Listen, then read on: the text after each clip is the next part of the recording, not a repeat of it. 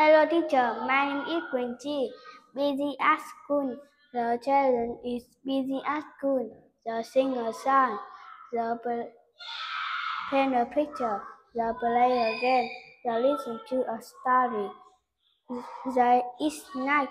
The say time. The count number. They write the ABC. Goodbye teacher.